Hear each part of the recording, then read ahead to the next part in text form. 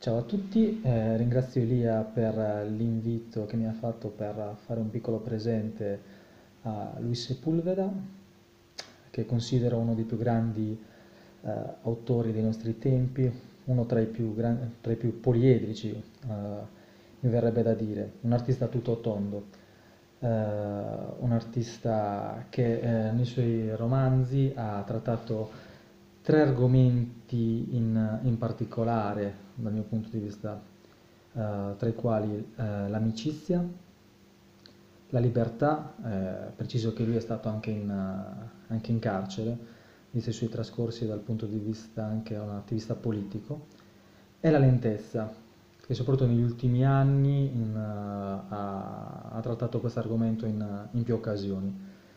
Eh, io mh, mm, proprio in relazione alla lentezza ho scelto un, un dei piccoli passi tratti da uh, Storia di una lumaca che scoprì l'importanza della lentezza, che è fondamentalmente una lumaca uh, che fa un viaggio per uh, ricercare il suo nome.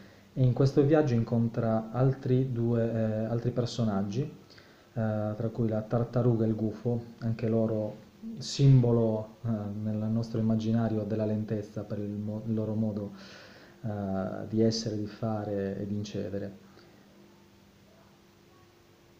Voglio sapere perché sono così lenta, sussurrò la lumaca. Allora il gufo aprì i suoi enormi occhi rotondi e la osservò attentamente. Poi li richiuse. Sei lenta, perché sulle spalle un grosso peso, spiegò il gufo. Tu sei una giovane lumaca e tutto ciò che hai vissuto, tutto ciò che hai provato, amaro e dolce, pioggia e sole, freddo e notte, è dentro di te. E pesa, ed essendo così piccola, quel peso ti rende lenta. Il peso della nostra vita. Ciao Luis.